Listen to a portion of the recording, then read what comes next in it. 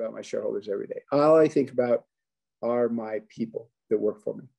And the people that work for me, because I know if I take care of them, then they'll take care of my customers and my customers will take care of my shareholders. Sometimes companies get at that all backwards. And so you had to hire people who were ambassadors for your brand, that were just ooze the company. And everything that we tried to do at, at JetBlue and subsequently at Azul, you know, stuff that I learned from Southwest and, and other places, is that we, I, if I knew that if the goal was to make people think this was the best job they ever had. And also, when they got up in the morning, they didn't dread going to work. Now, that takes a lot of effort.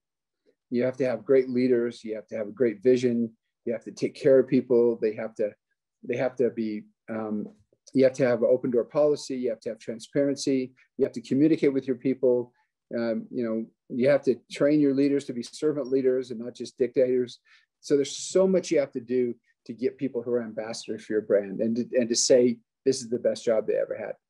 And you want people to be able to say, uh, to wear, if you give them a logo piece of a, of a tire that says JetBlue on it, that when they're on their days off, they're proud to wear that because people will will say, oh, JetBlue and sponsors, you know, Ken, thanks to Norwalk Community College, you know, for you, you know, students that are on, work your hardest, but don't don't sweat the, the, you know work hard to get the best grades but if you don't you're still going to be successful if you stay positive smile on your face. Don't be a victim.